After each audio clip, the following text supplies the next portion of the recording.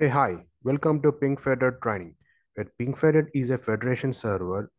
It helps an organization enable the client authentication and single sign-on technology, where it provides identity management and SSO and API security for the enterprise level.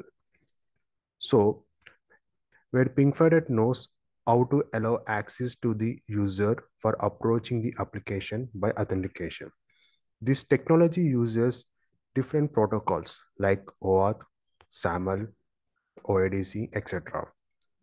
And it mainly designed for regulation based on single sign-on for user authentication. So in this section, we will be covering the content and in the next section, we will start the basics. Okay, let me show you the content which I'm going to cover in this course. So basically, first I will be covering the basics.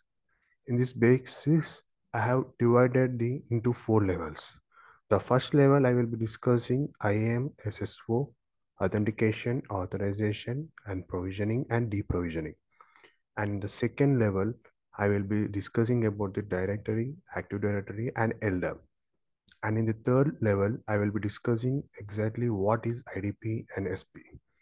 And in the fourth level, I will be discussing about the different protocols like SAML, OIDC, and OAuth. And once we are done with the basics, we will move to the PingFederate environment.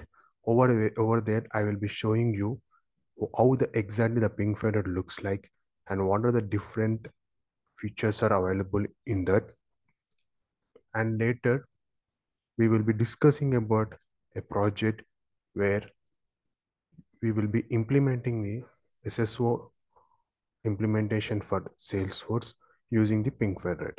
Over here, Salesforce is a service provider and PingFederate will be acting as an IDP provider.